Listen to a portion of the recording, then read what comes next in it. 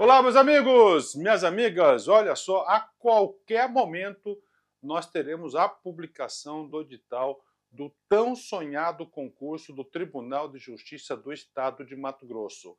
Este concurso está super autorizado, confirmado, inclusive já contrataram a banca examinadora, que é a banca FGV.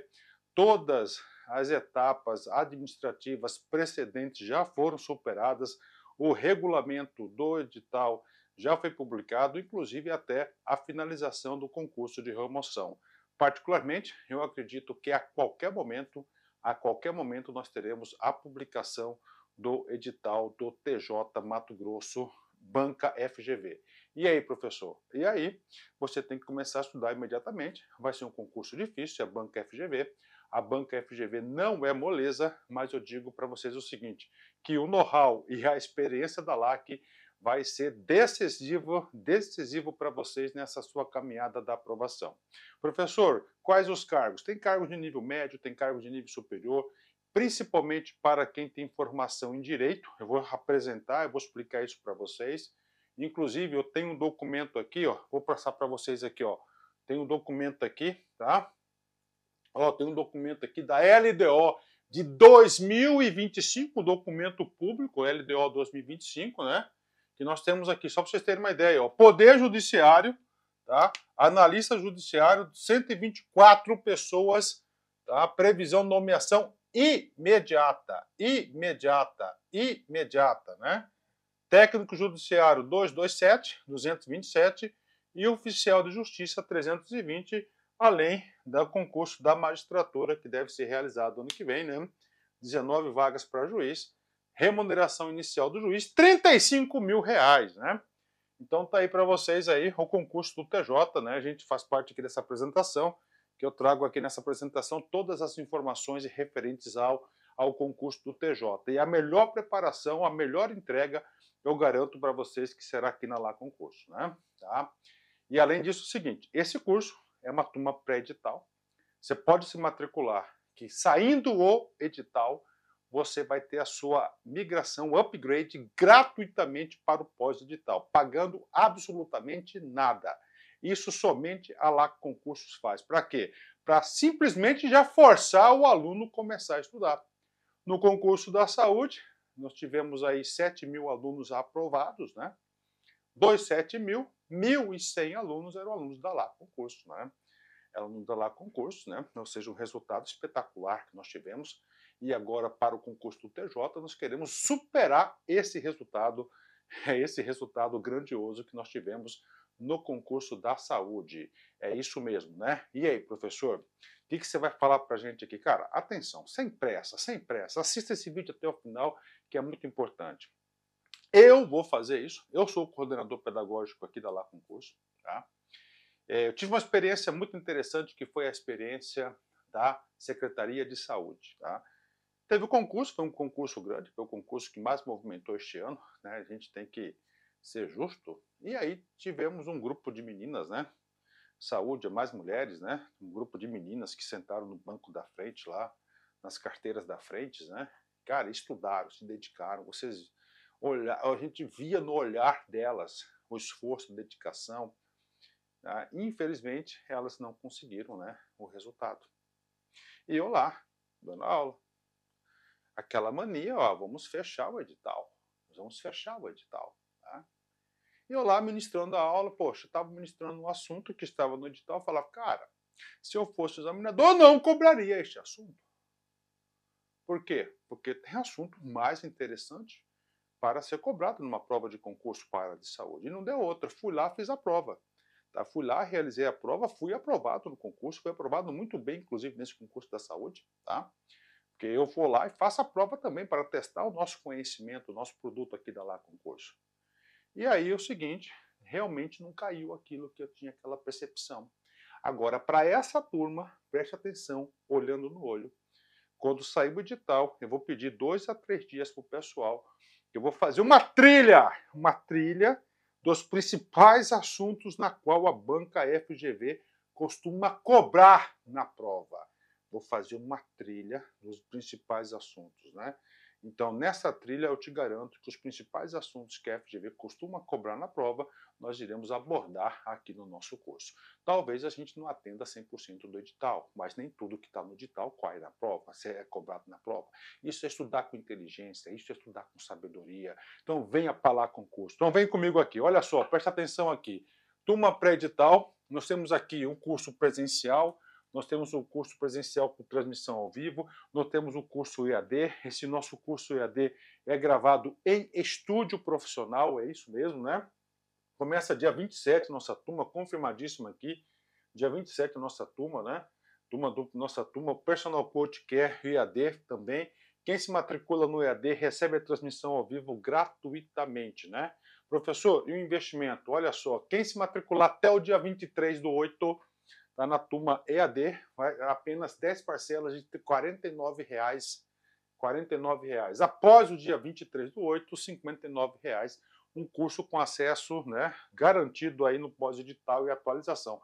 Turma presencial, olha só, até o dia 23 do 8, ele vai ter direito aí, a, vai pagar apenas investimento 10 parcelas de R$ 109,00. É isso mesmo, 10 parcelas de R$ 109,00, é isso aí super em conta, o melhor custo-benefício, é um investimento necessário para a sua aprovação. E aqui você pode ter certeza que a melhor entrega, a maior dedicação será aqui do concurso, da, aqui na Lá Concurso, né?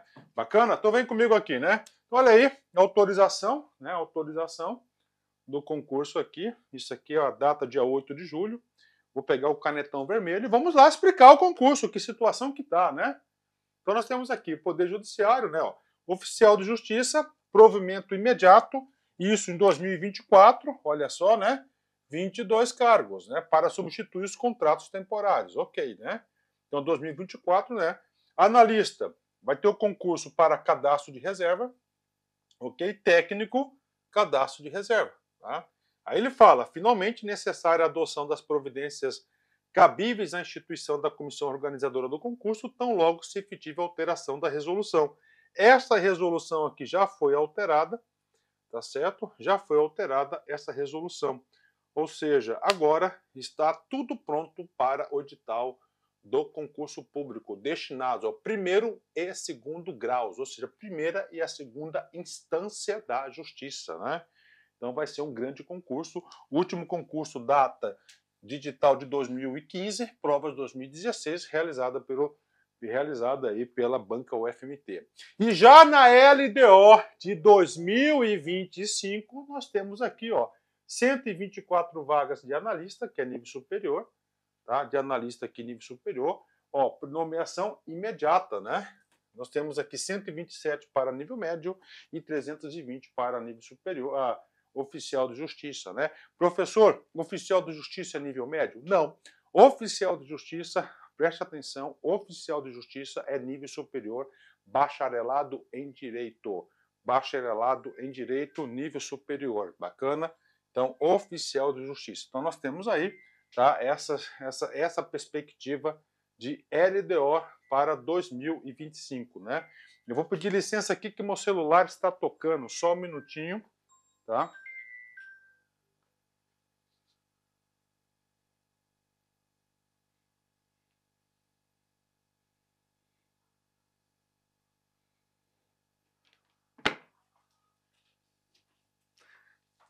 Pronto, né? Pronto, desculpa aí, né?